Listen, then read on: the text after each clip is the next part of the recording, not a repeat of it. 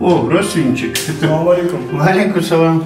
Как дела? Чего хорошо, алхамдулилlah, как у тебя? Какое общее положение, что новенького? Нормально, все, спасибо.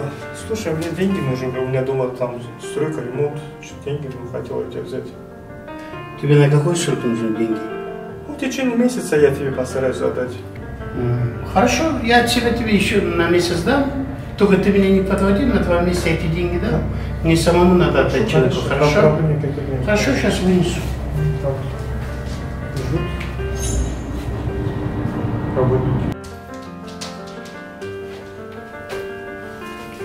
Все нормально. Возьми. Спасибо. Обещаю через месяц отдать. Хорошо, только не подводи, да мне самому надо отдать. Хорошо?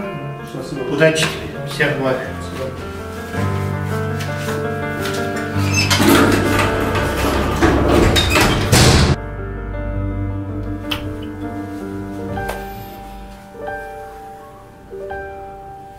Салам алейкум.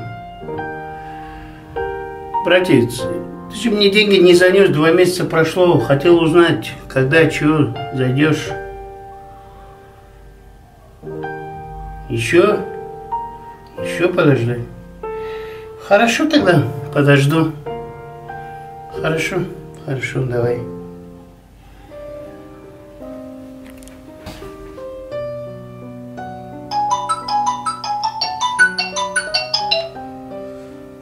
Да? Валикум ассалам. Слушай, ну подумаешь, на полгода там прошло. Ничего страшного, да для чего мы родственники? Отдам да я тебе это долг. Что ты переживаешь? Потерпи, да еще чуть потерпи.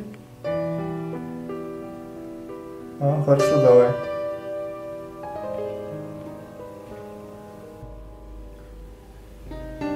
Уважаемый Магомед Амарович, я представитель этой фирмы, которому вы задолжали очень большую сумму. В вашем договоре написано, что вы в течение полгода обязываетесь оплатить, но уже ни рубля не поступило на наш счет. Как это все понимать? Да, вы правы, действительно, у нас такой договор был, но, к сожалению, меня, меня подвели мои же родственники, я хотел им помочь.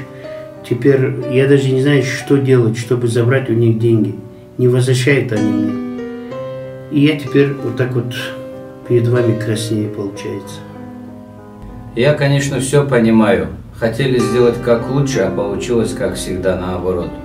Но я это начальству не смогу объяснить. В течение месяца, если вы не оплатите, то у вас будет пение и к вам отправят коллекторов.